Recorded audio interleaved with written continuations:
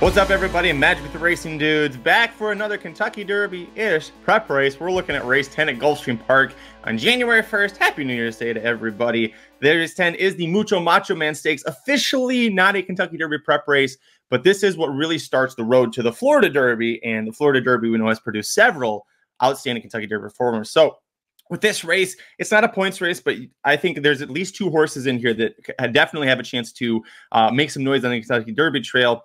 Here we go. They're in the gate for the Mucho Macho Man. Seven broke out. Ever do it uh, broke out quite a bit. A nice break for First World War and for the three Otello.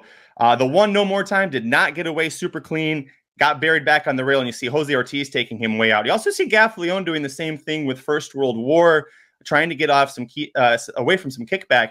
They're going to give Luis Saez on the three Otello all the room up the lane if he wants, as the seven ever do it leads, and eight C Streak is on a tight hold right behind him. Now, First World War is three wide. He's got inveigled inside, and then the three Otello on the rail.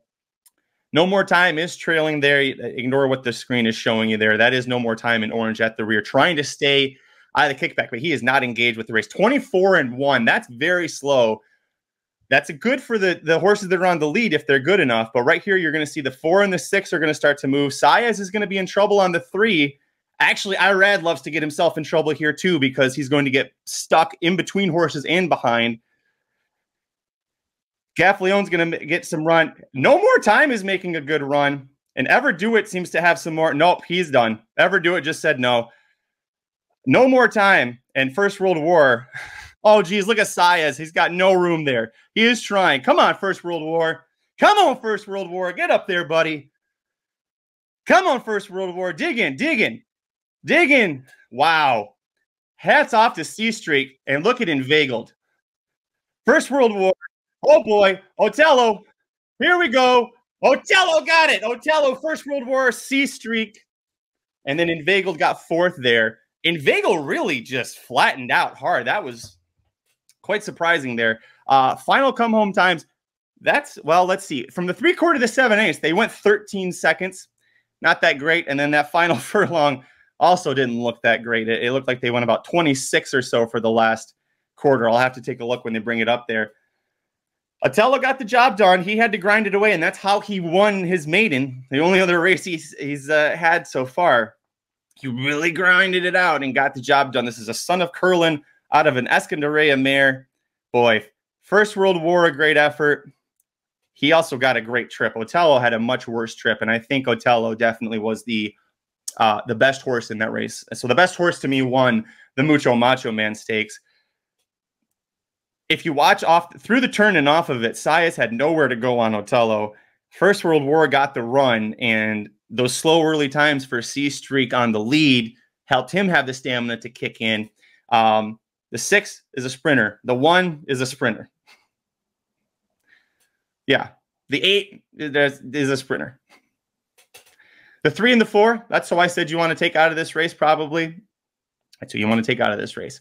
Uh, hey, look, First World War was seven to two.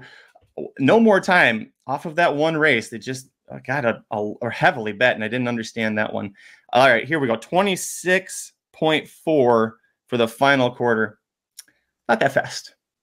Not that fast. But I do know we're going to see Otello and First World War stretch out, I'm sure, uh, to a two turn race, possibly the Fountain of Youth Stakes, possibly the Holy Bull Stakes. Well, I guess we'll wait and find out. I wouldn't target the Holy Bull. Fierceness is targeting the Holy Bull. Neither of those horses is beating Fierceness off of this race. O- Otello might get second. Nobody's beating Fierceness off of this race. But that's what I think about it. Uh, congrats to Otello. Congrats to uh, Paul Withrow, who owns Otello in the fantasy league. Mike Somich and I own First World War. We're okay with the results here. This wasn't a points race, so uh, Paul gets five points for Otello winning. We get nothing for second, but we get the knowledge and the confidence our horse will stretch out to go two turns in a future Derby prep. Also could go to Tampa Bay Downs. We'll see. Plenty of options there. Tell me what you thought about this race down below in the comment section. We'd love to hear from you. What do you think? Otello, great horse, good horse. Both these horses, nah. Let me know down below. Before you leave, hit like on the video, subscribe to youtube.com slash racing dudes. Happy New Year to everybody. Come back here for the Smarty Jones analysis and for all of the Kentucky Derby coverage leading up to and through the big day. I've been Magic. Good luck.